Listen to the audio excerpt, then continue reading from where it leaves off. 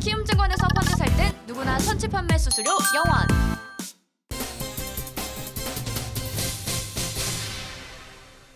Today small cap입니다. 자, 시장이 이렇게 어려울 때일수록 우리는 종목에 대한 공부를 게을리할 수 없습니다. 오늘 한동희 연구원 모시고 로체 시스템 살펴보도록 하겠습니다. 어서 오십시오. 안녕하십니까. 사실 지금이 좋은 기업을 살 수 있는 좋은 기회이긴 해요. 네. 어, 왜냐하면 이제 주가가 많이 떨어지니까 싼 값에 좋은 주식을 살 수 있는 기회이긴 한데 이제 용기가 나지 않아서 예. 아, 그런 부분들이 있겠죠. 네. 자, 로체 시스템즈는 뭐한 회사인지부터 좀 살펴보고 갈까요? 예, 이 한 번 말씀드린 적이 있는 종목인데요. 이 로체 시스템즈는 디스플레이 그 전공정 단에 있는 이송 시스템과 후공정 FPCB를 구부려주는 또 특정 공정이 있습니다. 음. 그래서 FPCB 구부려주는 이 bending machine을 주력으로 하고 있는 업체고요. 음흠. 그 외에는 이제 반도체향 이송 시스템과 그리고 이제 디스플레이 패널 전에 있는 원장 유리 원장 있잖아요. 그걸 음. 이제 커팅하는 시스템까지 하고 있습니다. 간단히 요약을 하면 디스플레이 공정 내에서 앞단과 뒷단에 대한 장비를 모두 가지고 있으며 반도체까지 이송 시스템에 대해서 확대가 지금 되고 있는 그런 업체라고 바라보시면 될 것 같습니다. 이 매출 비중 좀 보여드려야 되는데요. 그 작년 3분기 누적 기준으로 봤을 때 디스플레이가 한 절반 정도 되었고 나머지가 이제 반도체 등등등인데 사실 이때는 잘 아시겠지만은 국내 삼성 디스플레이 투자 down cycle이었고요. 그리고 작년에는 반도체 역시 투자 사이클이 down cycle에 진입했을 때였습니다. 그러니까 음. 이거는 사실 이 매출 비중이 이 회사의 앞으로의 호황기에 이 회사를 바라볼 때 이 비중대로 갈 것이다라는 보장은 없지만 다만 이 회사가 반도체와 디스플레이 down cycle 하에서도 지금 포트폴리오는 이 정도로 좀 가지고 있다 정도로 좀 이해하시면 될 것 같습니다. 네. 일단은 과거부터 좀 설명을 드려야 될 것 같아요. 제가 지금 이 회사의 연간 매출액과 영업이익률 차트를 보여드리고 있는데 2017년에 아주 좋은 실적을 냈었습니다. 음. 매출액 기준이죠.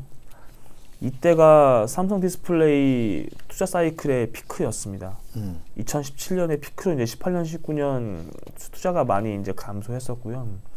2017년에 2016년 대비해서 매출액이 거의 뭐 두 배 이상 거의 세 배까지 성장했던 이유에는 아까 말씀드린 디스플레이 후공정에 포함되고 있는 FPCB bending 장비 때문이었어요. 음. 이때 그 장비를 처음 런칭을 했었고요. 이 장비를 삼성 디스플레이 내에서 독점으로 시작을 하게 되면서 그 당시에 이제 베트남 후공정 투자가 가파르게 진행을 됐었고 이때 그 bending 장비 하나만 가지고 매출액을 2천억 이상 했었습니다. 음. 그래서 회사가 한 번 level up이 세게 됐었고 2018년 19년에는 투자가 없으면서 지금 손가락을 빠았다라고 음. 좀 보시면 될 것 같습니다. 네. 2020년을 좋게 보고 있습니다. 일단은 다들 아시다시피 지금 폴더블이라는 새로운 폼팩터가 나오게 되면서 지금 베트남 후공정에 대한 투자가 다시 지금 시작이 되고 있는 그런 상황입니다.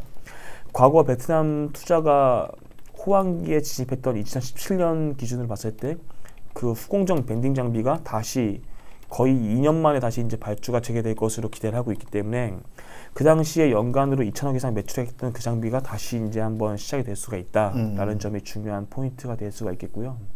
또 하나는 반도체를 제외한 디스플레이 역시 지금 삼성 디스플레이가 작년 말에 QD OLED 대형 OLED에 대한 투자를 집행을 했고요.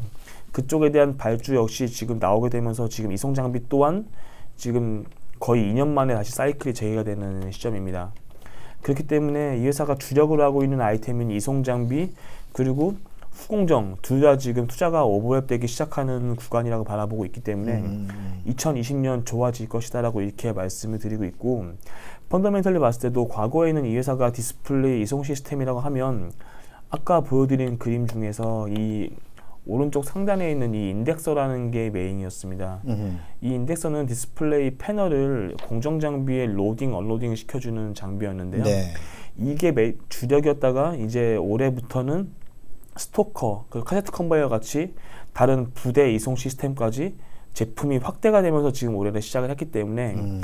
기존 대비해서 디스플레이 투자가 발생하기 시작했을 때 이송 시스템 군들이 수혜받는 그 규모는 더 level up이 된 채로 2020년 지금 투자 다시 upcycle에 진입을 해 있다는 점이 전방에 대한 사이클도 사이클이지만 지금 회사의 펀더멘털 내, 내부적으로의 포트폴리오 역시 확대가 된 채로 시작했다는 점이 가장 좀 좋게 볼 수 있는 포인트가 아닐까 싶고요. 그럼 이 그좀 말씀 중에 죄송한데 이게, 이게 그 전 단계 그다음에 이송 단계 그다음에 네. 뒤에 뒤에 저기 그 저 그 검사하는 단계까지 전부 다 그 갖춰져 그렇게 되는 건가요? 공정별로는 그런데요. 네. 이 회사가 그 앞단에서 하고 있는 거는 커팅하고 하는 거 뭐. 네, 커팅과 그리고 이제 패널 이송, 아, 디스플레이 패널 이송 장비들을 음. 하고 있는 거고 뒷단에서는 그 글라스랑 FPCB를 붙여줄 때 그 구부려주는 장비가 있습니다. 음. 그쪽도 후공정 장비 중에 하나인데 아, 그걸 음. 하고 있다는 말씀입니다. 그래서 음.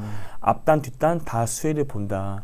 이 말은 즉슨 뭐냐면 지금 당장 올해는 QD-OLED 발주가 이미 나온 상태인데 이거는 지금 전공정에 대한 투자입니다.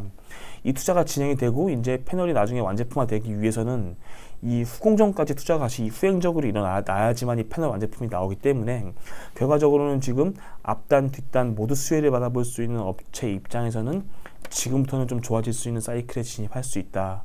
그리고 이런 장비군들은 중소형이건 대형이건 크기를 가리지 않는다는 점도 더 좀 좋게 볼 수 있는 포인트가 아닐까 싶고요. 네. 지금 후공정 수요를 촉발하고 있는 foldable 역시 지금 올해는 시장에서 한 연간으로 500만 대 정도 바라보고 있지만 지금 시장 최근에 나온 뭐 갤럭시 Z 플립 같이 clamshell 타입도 지금 인기가 많은 것으로 지금 파악이 되고 있기 때문에 foldable 자체에 대한 이 후공정 투자에 대해서는 내 후년까지는 upcycle로 갈 수 밖에 없지 않을까라고 생각도 하고 있고 이게 이제 지금 새로운 스마트폰 form factor의 트렌드로 자리 잡으면 삼성뿐 아니라 이제 다른 해외 뭐 애플이나 그다음 기타 업체들도 따라올 수밖에 없는 구조를 가지고 있고 이 패널에 대해서는 지금 삼성 디스플레이 가장 엣지 있는 기술을 가지고 있기 때문에 길게 보면은 디스플레이 투자 사이클에 다시 upcycle의 진입은 지금부터 아닐까라고 생각을 하고 있어서 네. 좀 좋게 보고 있는 회사라고 좀 말씀을 드리고요. 음.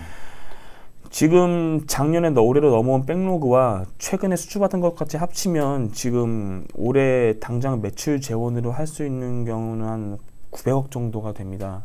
그러면 지금 2019년에 매출액이 한 800억 정도였으니까 이미 지금 작년 매출을 상회하는 매출 재원을 가지고 시작했다는 점도 음, 음. 최소한 올해가 작년보다 훨씬 더 좋을 수밖에 없을 거라는 시장에서의 판단을 하기에는 좀 충분해질 것으로 보, 충분할 것으로 지금 생각을 하고 있고 음, 지금 당초에 제가 추정했던 이 회사의 올해 연간 영업이익은 200억 초반 정도입니다. 네.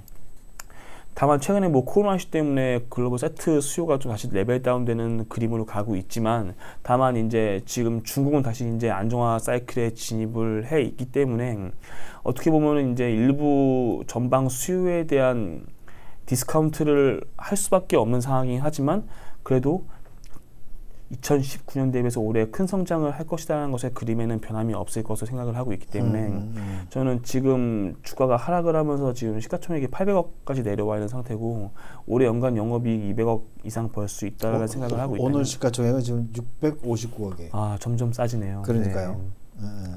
그래서 이게 바닥이 어디까지 것인가에 대한 건 사실 시장의 판단이고 음. 이건 사실 뭐 가려봐야 알 일이지만 되게 지금 매력적인 구간으로 지금 진입을 해가고 있는 중이다라는 점도 이거 지금 네. valuation도 한번 해- 해보신 적이 있나요? 네, 그 어떻습니까? 아까 제가 말씀드린 대로 올해 연간 영업이익 200억을 할 수가 있다고 하면 사실은 음. 지금 올해 순이익 기준으로는 시가총액 600억이라 하면 PER이 한 4배 네 배가 채 안 되는 네. 거죠. 3.5배. 네, 와 있는 거죠. 네, 음. 그러다 보니까 이게 value가 아무리 시장 상황이 이래도 이게 value가 비싼 것인가에 대해서는 사실 그건 아닌 것 같고 peer 네. 그룹에 비해 보면 뭐 확실히 싼건 맞는. 네, 싼 건 맞죠. 그래서 이 회사는 뭐 따로 뭐 12BW 같은 overhang도 없는 회사고 그리고 다시 주식을 매수하는 입장에서는 다시 장이 반등할 것이라는 기대감이 있어야 되는데 그 다시 반등할 수 있는 시기에는 이미 한번 시장에서 좋은 평가를 받고 고점 갔다 다시 지금 억울하게 내려와 있는 종목들이 그 반등 폭도 셀 그렇죠, 것이기. 때문에 음,